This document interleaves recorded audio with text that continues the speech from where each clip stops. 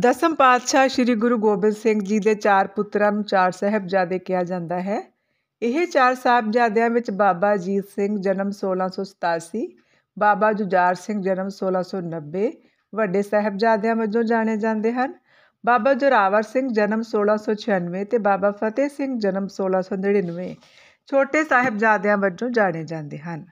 ਦਸੰਬਰ 1704 ਨੂੰ ਜਦੋਂ ਗੁਰੂ ਗੋਬਿੰਦ ਸਿੰਘ ਨੇ ਆਪਣੇ ਪਰਿਵਾਰ ਸਮੇਤ ਅਨੰਦਪੁਰ ਸਾਹਿਬ ਦਾ ਕਿਲਾ ਛੱਡਿਆ, ਤਾਂ ਸਰਸਾ ਨੇੜੇ ਦੁਸ਼ਮਣ ਫੌਜਾਂ ਨਾਲ ਭਾਰੀ ਯੁੱਧ ਹੋਇਆ। ਸਰਸਾ ਪਾਰ ਕਰਕੇ ਰੋਪੜ ਨੇੜੇ ਵੀ ਕਮਸਾਨ ਦਾ ਯੁੱਧ ਹੋਇਆ ਤੇ ਆਖਰ ਚਮਕੌਰ ਦੀ ਕੱਚੀ ਗੜੀ ਨੁਮਾ ਹਵੇਲੀ ਵਿੱਚ ਗੁਰੂ ਗੋਬਿੰਦ ਸਿੰਘ ਜੀ ਦੇ ਵੱਡੇ ਸਾਹਿਬਜ਼ਾਦਿਆਂ ਤੇ ਕੁਝ ਗਿਣਤੀ ਦੇ ਸਿੱਖਾਂ ਨੇ ਪਨਾਹ ਲਈ। ਇਸ ਦੌਰਾਨ ਚਮਕੌਰ ਦੀ ਜੰਗ ਵਿੱਚ ਦੁਸ਼ਮਣ ਫੌਜਾਂ ਨਾਲ ਲੋਹਾ ਲੈਂਦੇ ਹੋਏ ਹੋਰਨਾਂ ਸਿੰਘਾਂ ਦੇ ਨਾਲ ਪਹਿਲਾਂ ਬਾਬਾ ਅਜੀਤ ਸਿੰਘ ਤੇ ਬਾਅਦ ਵਿੱਚ ਬਾਬਾ ਜੁਝਾਰ ਸਿੰਘ ਸ਼ਹੀਦੀ ਜਾਮ ਪੀ ਗਏ। ਸਰਸਾ ਕੰਡੇ ਹੋਏ ਹਮਲੇ ਦੌਰਾਨ ਗੁਰੂ ਪਿਤਾ ਜੀ ਦਾ ਪਰਿਵਾਰ ਵੰਡਿਆ ਗਿਆ। ਛੋਟੇ ਸਾਹਿਬਜ਼ਾਦੇ ਅਤੇ ਮਾਤਾ ਗੁਜਰੀ ਜੀ ਪਰਿਵਾਰ ਤੋਂ ਵਿਛੜ ਗਏ, ਜਿਨ੍ਹਾਂ ਨੂੰ ਖੇੜੀ ਪਿੰਡ ਦਾ ਗੰਗੂ ਰਸੋਈਆ ਆਪਣੇ ਨਾਲ ਆਪਣੇ ਪਿੰਡ ਲੈ ਗਿਆ ਤੇ ਬਾਅਦ ਵਿੱਚ ਲਾਲਚ ਵਸ ਥਾਣੇ ਵਿੱਚ ਸ਼ਿਕਾਇਤ ਕਰ ਦਿੱਤੀ। ਮੋਰਿੰਡੇ ਦੇ ਥਾਣੇਦਾਰ ਨੂੰ ਖਬਰ ਦੇ ਕੇ ਬੱਚਿਆਂ ਨੂੰ ਫੜਾ ਦਿੱਤਾ। ਉਸਨੇ ਮਾਤਾ ਜੀ ਤੇ ਬੱਚਿਆਂ ਨੂੰ ਗ੍ਰਿਫਤਾਰ ਕਰਕੇ ਸੂਬਾ ਸਰਹੰਦ ਦੇ ਹਵਾਲੇ ਕਰ ਦਿੱਤਾ। ਉਸ ਰਾਤ ਉਹਨਾਂ ਨੂੰ ਕਿਲੇ ਦੇ ਠੰਡੇ ਬੁਰਜ ਵਿੱਚ ਰੱਖਿਆ ਗਿਆ। ਦੂਜੇ ਦਿਨ ਬੱਚਿਆਂ ਨੂੰ ਸੂਬਾ ਸਰਹੰਦ ਦੀ ਕਚਹਿਰੀ ਵਿੱਚ ਪੇਸ਼ ਕੀਤਾ ਗਿਆ। ਕਚਹਿਰੀ ਵਿੱਚ ਬੱਚਿਆਂ ਨੂੰ ਦੀਨ ਕਬੂਲ ਕਰਨ ਲਈ ਲਾਲਚ ਤੇ ਝੂਠੇ ਡਰਾਵੇ ਦਿੱਤੇ ਗਏ। ਸੂਬਾ ਸਰਹੰਦ ਨੂੰ ਨੂੰ ਆਪਣਾ ਧਰਮ ਛੱਡਣ ਤੋਂ ਬੱਚਿਆਂ ਨੇ ਇਨਕਾਰ ਕਰ ਦਿੱਤਾ।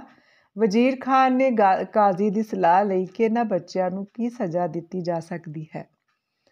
ਦੀਵਾਨ ਸੁੱਚਾਨੰਦ ਨਹੀਂ ਸੀ ਚਾਹੁੰਦਾ ਕਿ ਸਾਹਿਬਜ਼ਾਦਿਆਂ ਨੂੰ ਛੱਡਿਆ ਜਾਏ। ਇਤਿਹਾਸਕਾਰਾਂ ਅਨੁਸਾਰ ਉਸਨੇ ਇੱਕ ਸ਼ੈਤਾਨ ਵਾਂਗ ਸਾਹਿਬਜ਼ਾਦਿਆਂ ਨੂੰ ਕੁਝ ਅਜਿਹੇ ਪ੍ਰਸ਼ਨ ਕੀਤੇ, ਜਿਨ੍ਹਾਂ ਦੇ ਉੱਤਰਾਂ ਤੋਂ ਉਹਨਾਂ ਨੂੰ ਬਾਗੀ ਸਿੱਧ ਕੀਤਾ ਜਾ ਸਕਦਾ ਹੋਵੇ।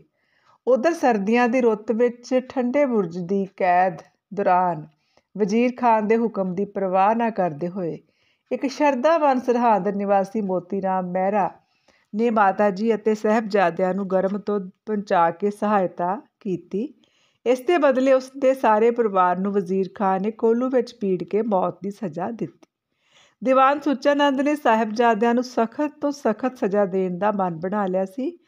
ਉਸ ਨੇ, ਉਸ ਕਾਜੀ ਨੇ ਵੀ ਮਾਲਕਾਂ ਦੀ ਮਰਜ਼ੀ ਅਨੁਸਾਰ ਛੋਟੇ ਸਾਹਿਬਜ਼ਾਦਿਆਂ ਨੂੰ ਈਨ ਨਾ ਮੰਨਣ ਦੀ ਸਜ਼ਾ ਦੇ ਕੇ ਕੰਧਾਂ ਵਿੱਚ ਚੜਾ ਦੇਣ ਦਾ ਫਤਵਾ ਜਾਰੀ ਕਰ ਦਿੱਤਾ। ਸੂਬਾ ਸਰਹੰਦ ਦੀ ਕਚਹਿਰੀ ਵਿੱਚ ਸਾਹਿਬਜ਼ਾਦਿਆਂ ਨੂੰ ਪੇਸ਼ ਕੀਤਾ ਗਿਆ, ਜਿੱਥੇ ਦੀਨੇ ਮੁਹੰਮਦ ਦੀ ਕਬੂਲ ਕਰਨ ਲਈ ਲਾਲਚ ਦੇਣ ਤੇ ਡਰਾਉਣ, ਧਮਕਾਉਣ ਦੇ ਯਤਨ ਬਹੁਤ ਵਾਰ ਕੀਤੇ ਗਏ ਤੇ ਫਿਰ ਬੱਚਿਆਂ ਨੂੰ ਕੰਧਾਂ ਵਿੱਚ ਚਣਵਾ ਦੇਣ ਦੇ ਫਤਵੇ ਤੋਂ ਬਾਅਦ ਜਦੋਂ ਇਹ ਕੰਧ ਉਸਾਰੀ ਗਈ, ਮੋਢਿਆਂ ਤੀਕ ਆਈ ਤਾਂ ਡਿੱਗ ਗਈ। ਬੱਚਿਆਂ ਦੇ ਫੁੱਲਾਂ ਵਰਗੇ ਸਰੀਰ ਬੇਹੋਸ਼ ਹੋ ਗਏ। ਹੁਣ ਬੱਚਿਆਂ ਨੂੰ ਜ਼ਿਬਹਾ ਕਰਨ ਦਾ ਹੁਕਮ ਸੁਣਾਇਆ ਗਿਆ। ਸਮਾਣਾ ਦੇ ਦੋ ਜਲਾਦ, ਸਾਸ਼ਲ ਬੇਗ ਤੇ ਬਾਸ਼ਲ ਬੇਗ ਨੇ ਦੋਹਾਂ ਬੱਚਿਆਂ ਦੇ ਸੀਸ ਧੜ ਤੋਂ ਅਲੱਗ ਕਰ ਦਿੱਤੇ। ਦੁਨੀਆ ਦੀ ਇਸ ਅਨੋਖੀ ਲਾਮਿਸਾਲ ਦਿਲ ਕੰਬਾਊ ਇਤਿਹਾਸਕ ਸ਼ਹੀਦੀ ਨੇ ਦੁਨੀਆ ਨੂੰ ਅਸਜਤਾ ਵਿੱਚ ਪਾ ਦਿੱਤਾ। ਬਿਰਦ ਉਮਰੇ ਮਾਤਾ ਗੁਜਰੀ ਜੀ ਵੀ ਠੰਡੇ ਬੁਰਜ ਦੇ ਵਿੱਚ ਅੰਤਾਂ ਦੀ ਠੰਡ ਤੇ ਪਰਿਵਾਰ ਦੇ ਅਸਹਿਬ ਛੋੜੇ ਨੂੰ ਨਾ ਝੱਲਦੇ ਹੋਏ ਸ਼ਹੀਦੀ ਪਾ ਗਏ। ਸੂਬਾ ਸਰਹੰਦ ਨੇ ਇਹਨਾਂ ਸ਼ਹੀਦਾਂ ਦਾ ਸੰਸਕਾਰ ਕਰਨ ਲਈ ਜਗ੍ਹਾ ਦੇਣ ਲਈ ਸ਼ਰਤ ਰੱਖੀ ਸੀ।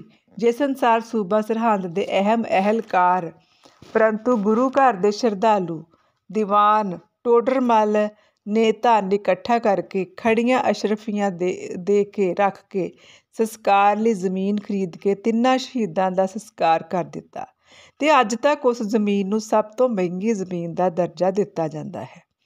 ਇੱਥੇ ਅੱਜ ਕੱਲ ਗੁਰਦੁਆਰਾ ਸ੍ਰੀ ਜੋਤੀ ਸਰੂਪ ਸਾਹਿਬ ਸ਼ਸ਼ੋਭਤ ਹੈ।